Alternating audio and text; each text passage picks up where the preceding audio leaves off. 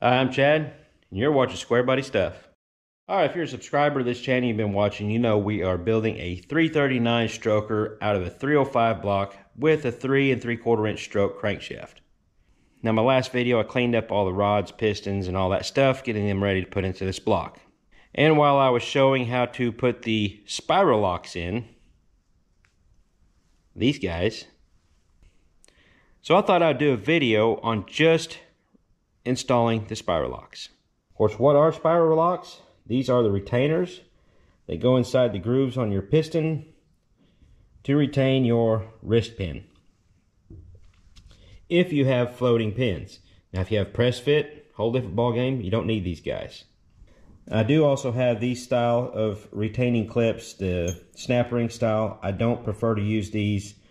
Uh, they would be okay, maybe a street application, something you're not going to run real hard my preference. Uh, there may be people out there making 1,000, 2,000 horsepower running these things and don't have any problems. That's fine. Uh, but I prefer to use the more positive style of the double spiral lock. My goal is to show you guys how to install these things without being really, really super frustrated with them. Because these little guys can make you bleed by the time you get done installing 32 of them. And if you got fat little sausages like I do, you'll understand the frustration.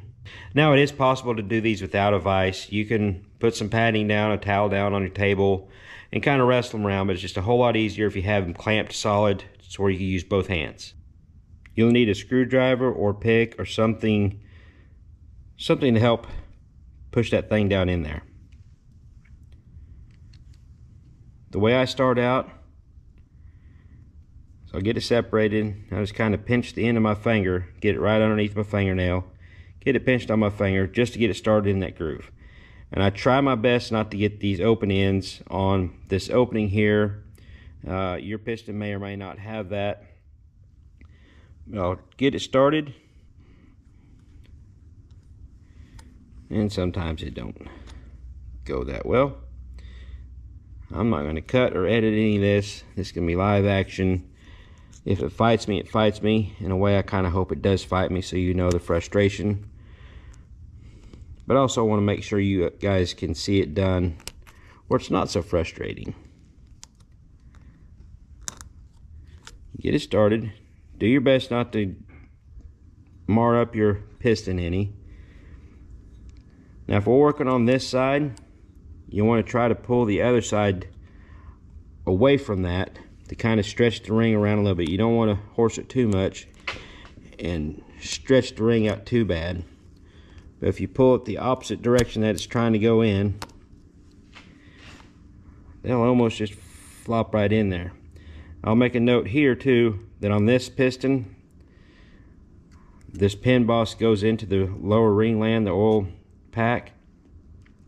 And this tab can hang up on me. I got to make sure that this end of this ring stays above that when I once I get to this point.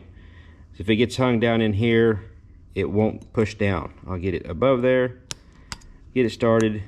Once you get past that point, get it down in there, push it, and it snaps in.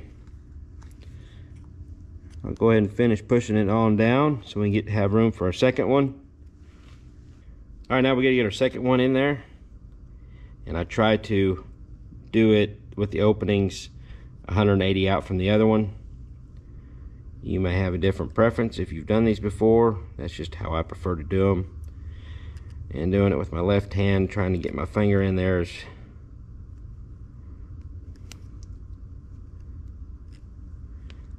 There we go. Get started.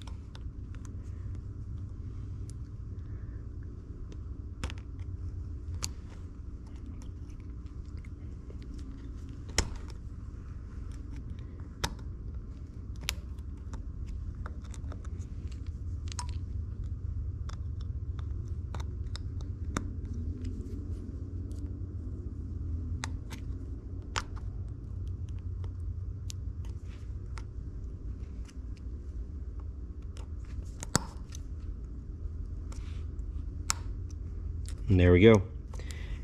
That one kind of snapped twice, but it did seat in there all the way. And you'll have to look down in there, make sure they're all kind of even, or it's seated in there evenly. Another little note I'd like to make, if your pistons have some big domes on them, it may be harder to clamp in a vise or anything, so you may have to do them out on a table. Now to keep this video kind of short and sweet, I'm not going to show you doing the other side because it's pretty much the same thing. It's just, you're just going to have that pin in there. I hope this video has helped somebody out. I appreciate you guys watching. Don't forget to hit the like button, hit the subscribe button, share this with your friends. Until next time, y'all keep your square bodies rolling, and we'll catch you later.